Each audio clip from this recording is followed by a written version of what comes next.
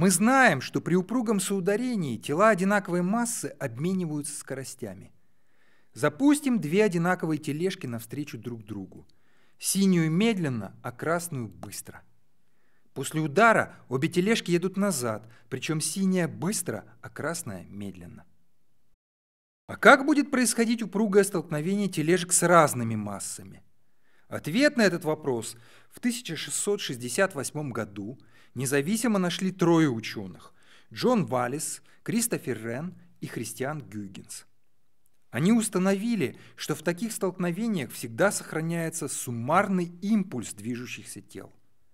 Импульс тела равен произведению его массы на скорость. Импульс является векторной величиной, и его направление совпадает с направлением скорости. А закон сохранения импульса при взаимодействии двух тел записывается вот так. Продемонстрируем закон сохранения импульса на опыте. Для этого измерим скорости тележек с помощью ультразвуковых датчиков и посчитаем их импульсы, умножив скорости на массы.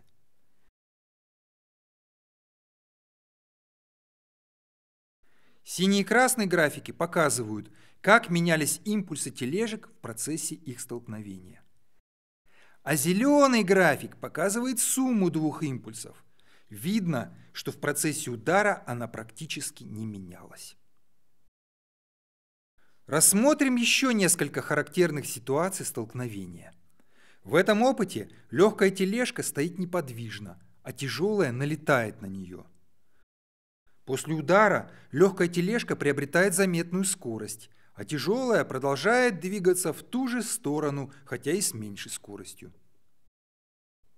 Изобразим стрелкой импульс тяжелой тележки до удара.